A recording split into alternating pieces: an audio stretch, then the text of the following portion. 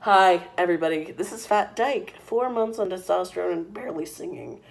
Um, here's an original song. It's called Communion or Consumption or something along those lines.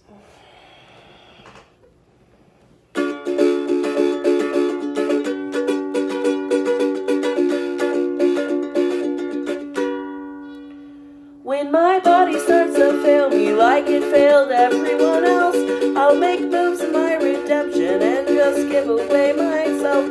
I'll remove the unimportant things like lungs and heart and brain. Make collages out of organs and the bones that still remain. Make Mixing rosaries from knuckles and a cane out of my spine.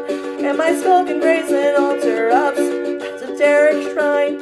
And my kidneys make coin purses. And my stomach makes a sack to preserve all of your valuables you'll never give me back.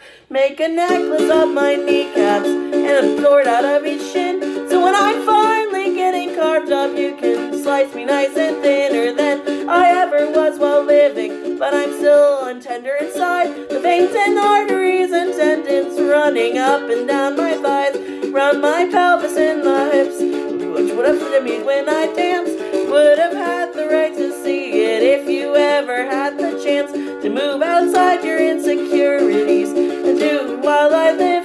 But the offering of my body is the way that I forgive you of the negligence and anger and the pity and the strife.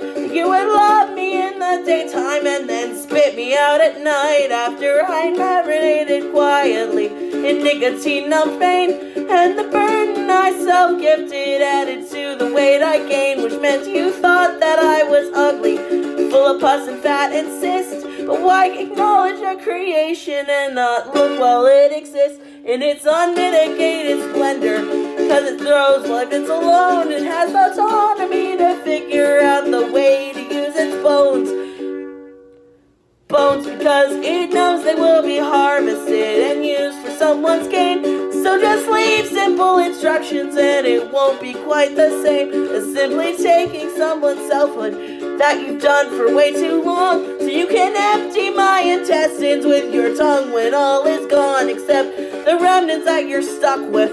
Cause the rest are passed around to all the strangers who did nothing except turn their heads at sounds of desperation and exhaustion, which is more than you could try. So you won't get the satisfaction of a gift or mournful cry, but rather know that what is left of me will never be exhumed since the com- since this cannibal communion is the only way I'll ever be consumed.